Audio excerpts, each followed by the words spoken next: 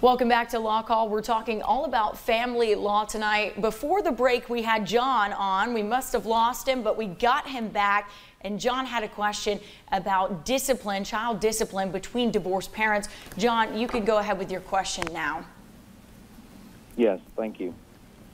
All right, I'm about to give my truck to my son, and he is 17 years old. And I'm going to leave the truck in my name I'm going to provide the insurance.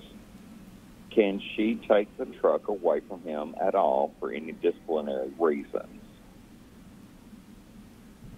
Okay.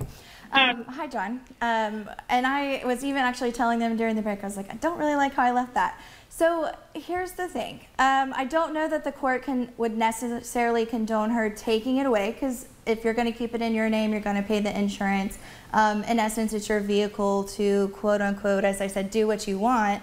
But to some degree, though, if your son is doing something, behaving badly, I do, or I would encourage that that would be a conversation that the two of you would need to have. Um, if she's having concerns about the vehicle, is she going to come to you and y'all discuss what's to be done? You might agree with, okay, no, it needs to sit in the driveway for a week at least um, because he either has bad grades or you know he wasn't doing what he was supposed to do. Insert whatever he may be doing here. Um, but as far as taking away, um, I don't see where the court's necessarily going to let her do that. Again, it's your vehicle. Um, but I think it also depends on, too, the co-parenting and potentially your relationship with mom. Does she know that you're purchasing this or giving your son this vehicle?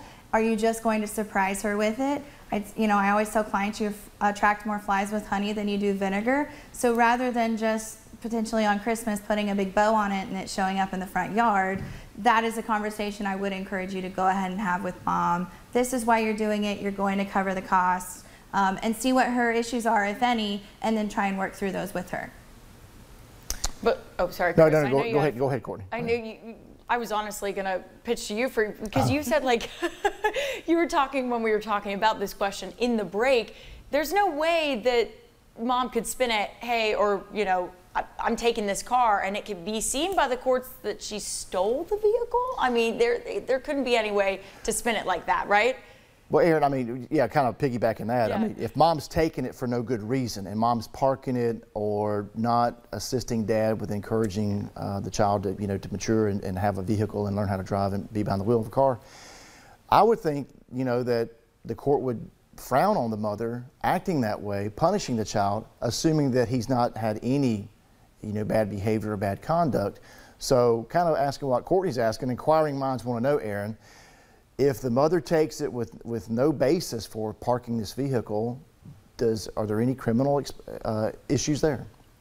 I don't know that there's necessarily any criminal issues. There potentially are. I'll leave that to the criminal attorneys. But I'll say I think that if um, this would not be an issue that I would want to take in front of any of our judges right now or any of our uh, future judges uh, that are going to be taking over family law because this is something that really should be worked out between the parents. If it's a 17 year old who's very responsible, getting ready for graduation, like he's about to be an adult. Is this the whole point is to teach him responsibility or make sure that he's getting to honor classes or extracurricular activities? Maybe it's something where mom won't take him to extracurricular activities or can't get him to school on time. If this remedies that, then I don't know that she would have an argument as to why it, he shouldn't get it.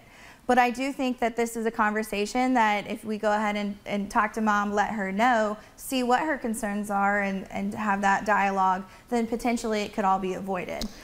So, Aaron, I, I heard something that maybe our viewers did not really pick up on. Mm -hmm. The court systems are slammed. And when we talk about pettiness between uh, uh, parents who can no longer get along over something that should be or could be and should have been worked out, you know, I'd, I'd, hate to be the attorneys representing those parents making those arguments to these to these judges who are still trying to hear hurricane cases, in addition to all the other things that are going on in Bay County. So, um, if you're listening and if you if you think you want to, you know, get into that that uh, that arena, Care, uh, Aaron will give you some good advice, and she just said it. You know, our judges will not, you know, they don't tolerate some of that right now. Yeah, great question from John, and hopefully we answered it to our best ability. We